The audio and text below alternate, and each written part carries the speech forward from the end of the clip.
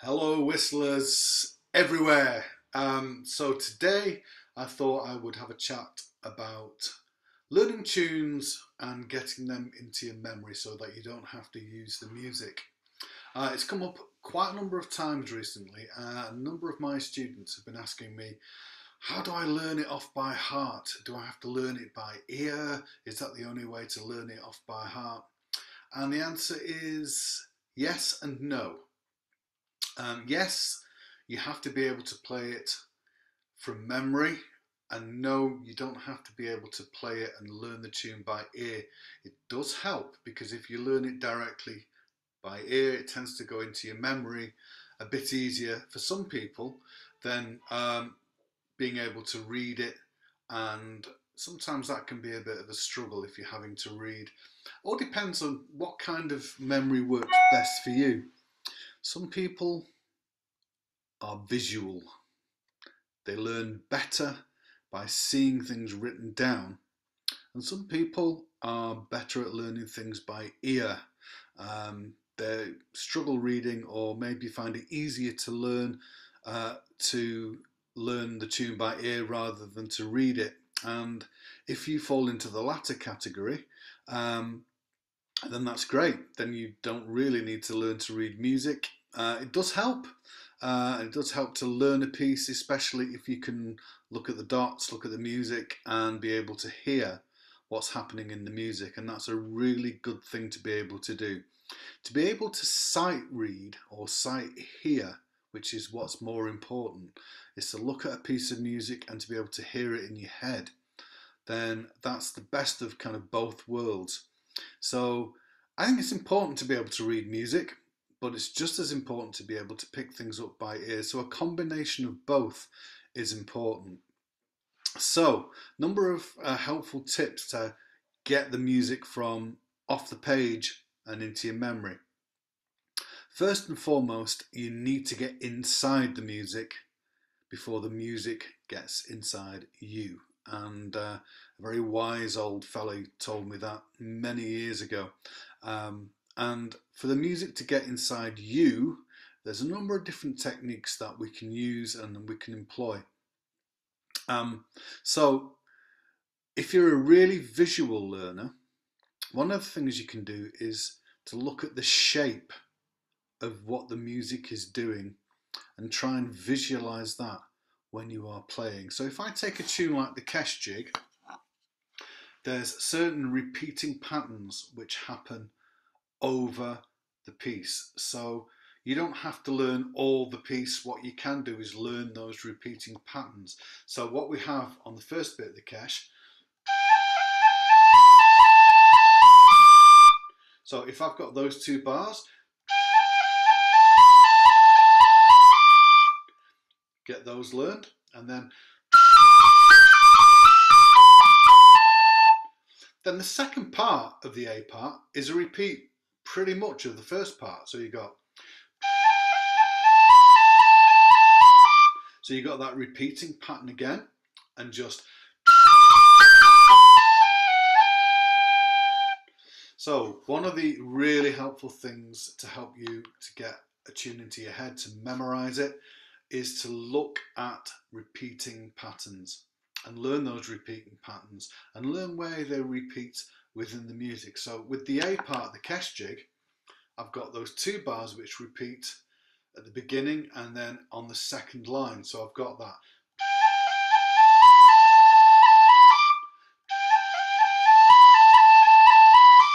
So I've already got those first two bars and they repeat, as I said, in the second line the tune. So, and then the, it's just two bars which we need to add on to that. So we've got the first line.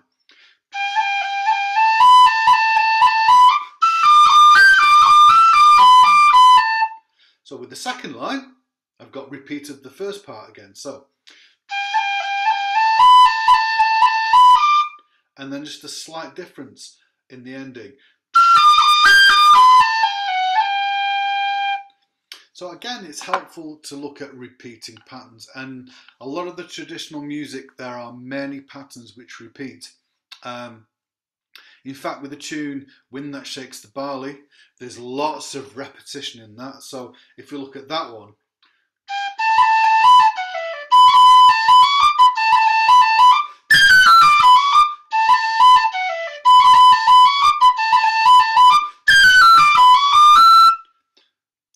the A part second time is almost identical apart from one note. So if you think about the first line,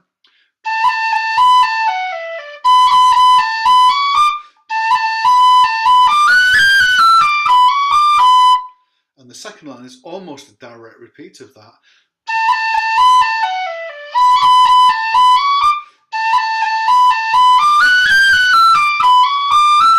Which goes up rather than down. So you'll find that a lot of the traditional tunes have got lots of repeated patterns. So listen out for those repeating patterns and it will help you to learn and memorize those tunes if you can learn those repeating patterns. So another big mistake that a lot of people make is when they're trying to memorize a tune off the paper is to try and memorize the whole tune and don't try and eat the whole cake in one go, as they say. Um, small, bite-sized chunks. Great idea. Maybe learn a couple of bars, maybe memorize a couple of bars. So again, if we look at the Kesh jig, yeah, on the B part.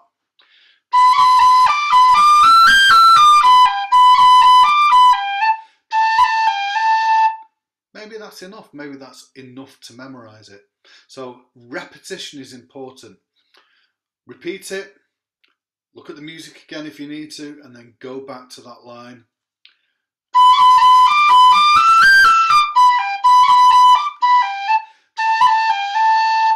Yeah, and once you've got it, if you forget it, go back, look at the dots, and then go back and play it again.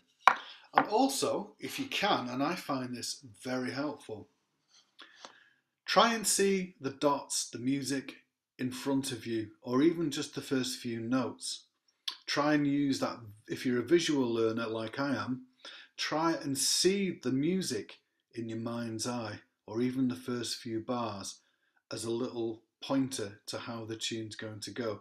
So what I sometimes do is I think of just try and memorize visually the first bar and that's a sort of memory jogger.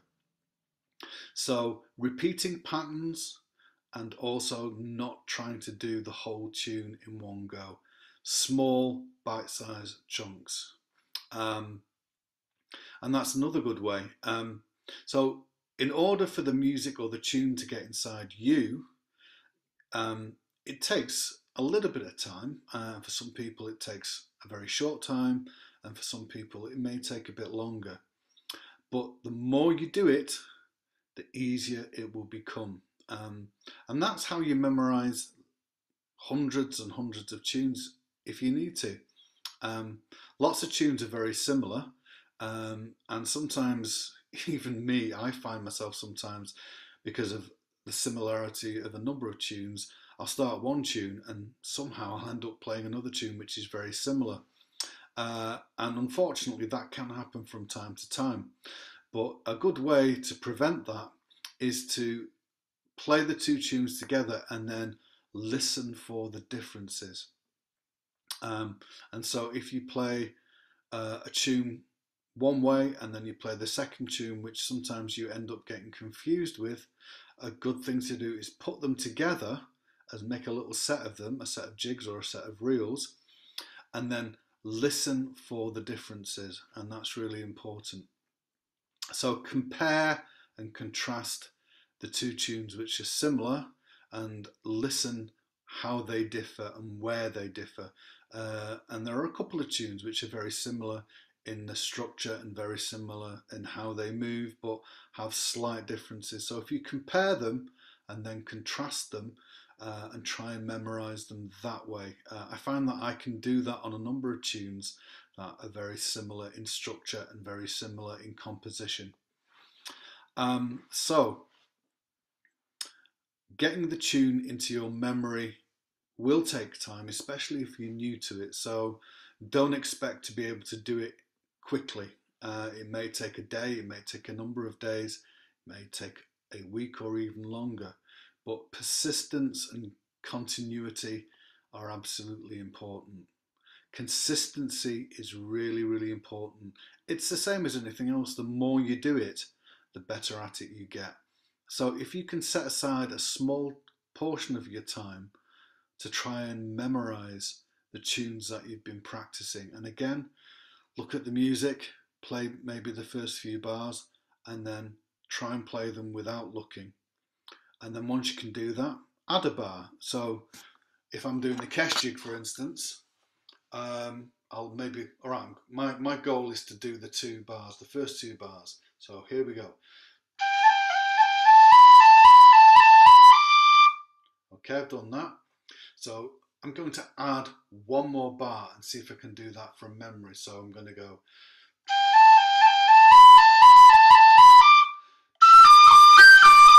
And put them together.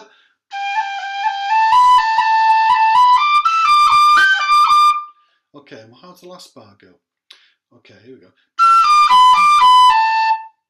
And then keep adding an additional bar until you've got the first line. So.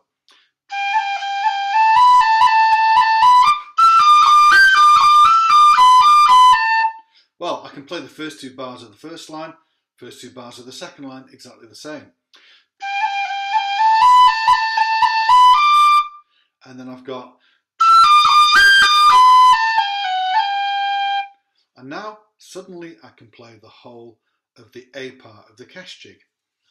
So always start off with something easy and something which has got lots of repetition. As I say, lots of repeating patterns. Listen out for the repeating patterns and try and add them. Um, I mentioned previously about when we practice to practice the bits we can't do and put them on a loop. And I've found that by doing that, not only does it help your technique and help you to uh, practice the things which you're struggling with uh, in motor skills and moving like taps and rolls and cuts, but it also helps get it inside here because the more you do it, eventually you'll find you don't need to look at any music at all. You've suddenly learnt the tune as if by magic, and as if by magic, that's how it goes. Um, how long the magic takes, again, is very much dependent upon you and your abilities to hear the tunes and learn the patterns.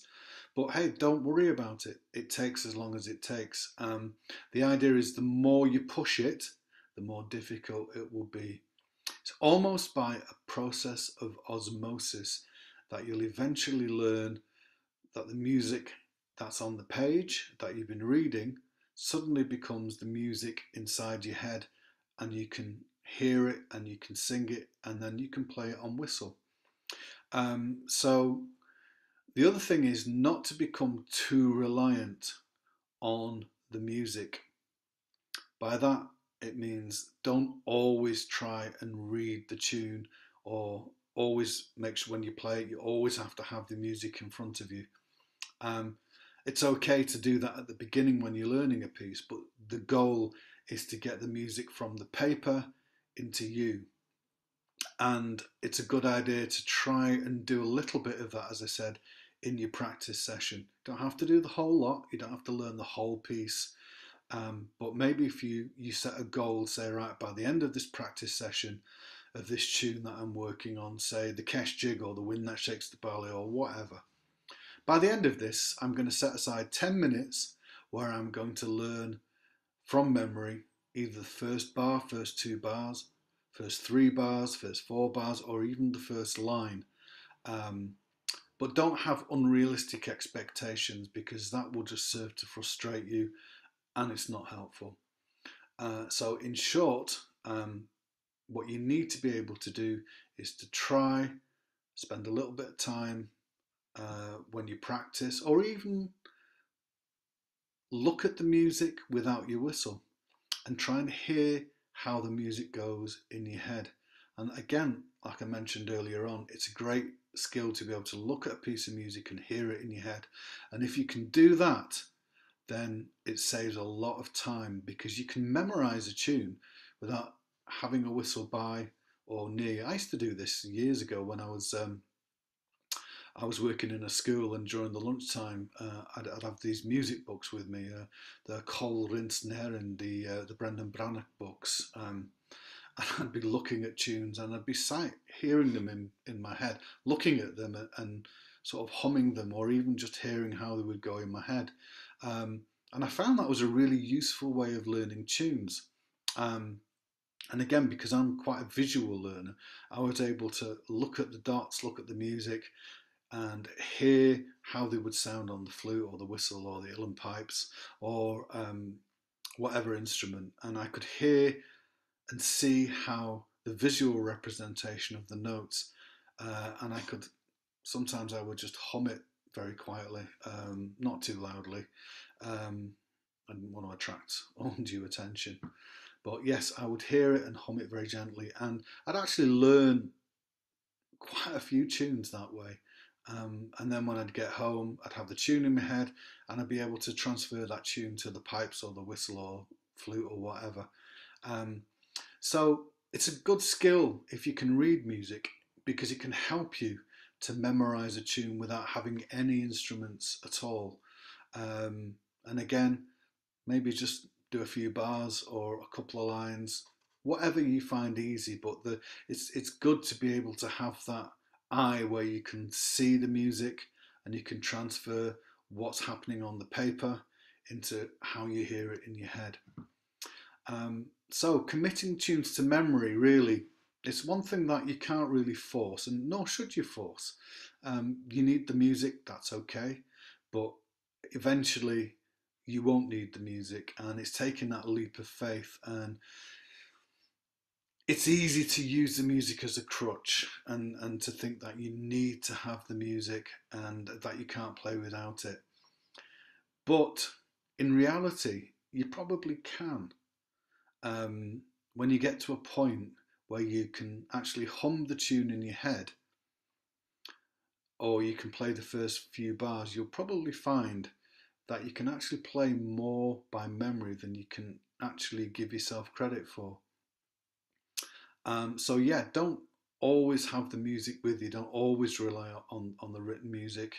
Um, take that leap of faith and have a go. Maybe even if you just don't know the whole piece, maybe if you just know the first few bars, that can be built upon. And I've not met anybody who can't commit tunes to memory. As I said right at the beginning, some people can do it very easily, and if they learn by ear, hear a piece, yeah, they can hear the patterns that they're familiar with.